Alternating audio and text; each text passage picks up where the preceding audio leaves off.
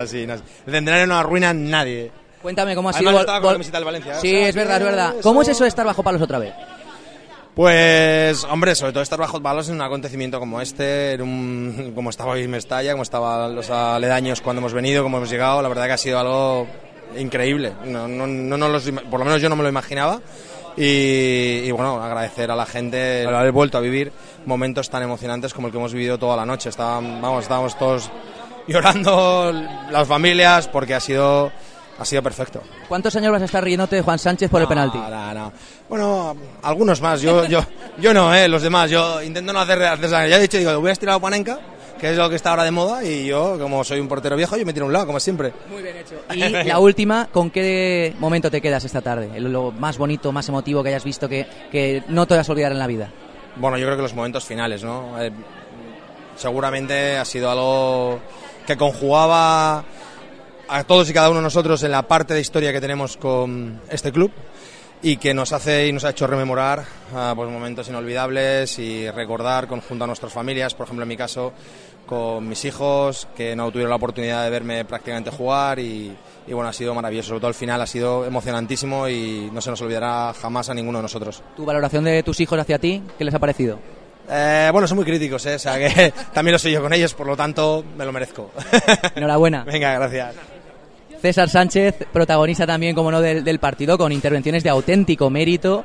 Eh, y estamos ya en la recta final. Seguimos aquí con protagonistas. Han pasado ya unos cuantos por los micrófonos de Beus del Centenari en eh, Plaza Radio. A ver si podemos tener alguno para cerrar la comunicación. Como por ejemplo Miguel Brito. Hola Miguel, muy buenas. Hola, buenas. ¿Cómo ha sido volver a Valencia, a tu casa?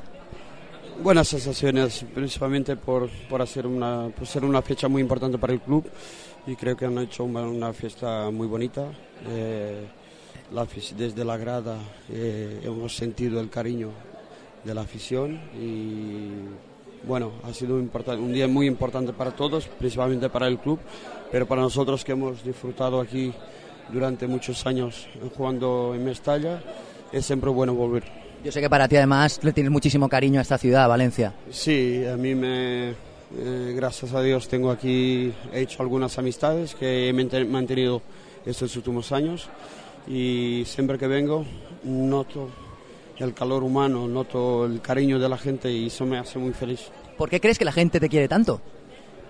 Porque yo creo que al final la gente me ha conocido como persona, aparte de como jugador, y acaban por saber que, que soy buena persona. ¿Con qué momento te quedas esta tarde? ¿Cuál ha sido el momento más especial para ti? Yo creo que eh, la vuelta que hemos dado al campo, el- eh, los fuegos, eh, ahí ha, ha sido un momento muy difícil, no solo para mí, pero creo que para, para todos. He sentido, bueno, me he emocionado mucho. Yo puedo dar fe, Miguel Brito, un buen tío. Enhorabuena. Gracias. Y vamos a cerrar con él, cómo no. Fernando Giner, muy buenas. Hola, buenas. Me han contado que te han aplaudido en el vestuario. Bueno, es un aplauso de todos, de todos los compañeros, por lo que ha sucedido hoy aquí dentro de Mestalla y, y por lo que ha significado para todos. Vamos a recordar que lo de hoy es culminación de mucho tiempo trabajando, pero que el centenario sigue. El centenario sigue, claro, el centenario es todo, todo un año, lo que pasa es que o sea, conseguir algo más grande que esto es muy difícil. Cuando tú en 2008-2009 te haces cargo de la Asociación de Futbolistas, ¿pensabas que 10 años después podrías montar, podríais montar la que se ha montado hoy? No lo pensábamos, la verdad es que no lo pensábamos, lo que pasa es que se entra en una función por algo. Yo tenía claro mi objetivo y mi función en la, en la asociación y así se lo hice ver a cada presidente los que ha ido pasando durante estos años.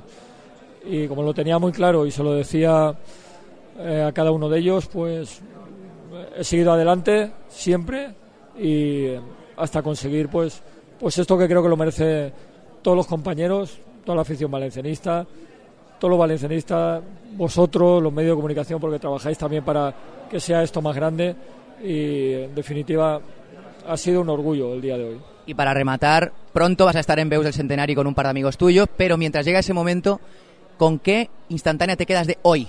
¿Cuál es el momento para ti que siempre va a quedar en tu memoria como el más emotivo? El himno, el himno con las luces apagadas, todos, en- todos con los móviles encendidos. cantando todos a la vez. Era, era impresionante.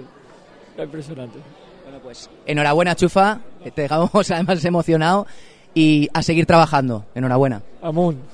Bueno, pues Fernando Giner con esas palabras que además se le notaba, está medio afónico pero también emocionado porque ha sido un momento precioso, un momento muy bonito en el que el himno de la comunidad valenciana sonaba para ponerle el broche al partido de las leyendas. Igual que nosotros le vamos a poner, ya suena la sintonía, el broche a esta edición especial particular de Beus del Centenari. Diferente porque no es en el formato tertulia, pero han pasado protagonistas, voces autorizadas del valencianismo que han estado aquí en estos micrófonos atendiéndonos sobre el terreno de juego en zona mixta y sobre todo compartiendo sus vivencias, sus sensaciones, sus historias en una jornada, la del 24 de marzo del año 2019, que es ya historia del valencianismo.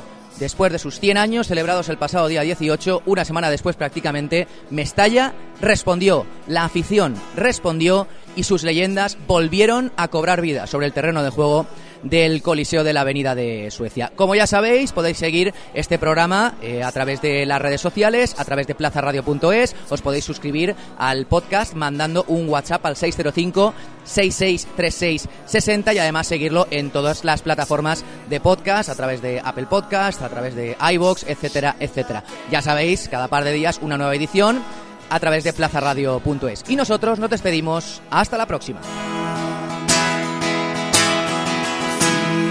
Escucha todos los programas en plazaradio.es y en valenciaplaza.com. Suscríbete a nuestros canales en Apple Podcast, Spotify, Evox y Google Podcast. Descarga la skill para Alexa de Plaza Radio o envía un WhatsApp al 605 66 36 70 para recibir cada nuevo episodio. También puedes seguirnos en Facebook, Twitter e Instagram.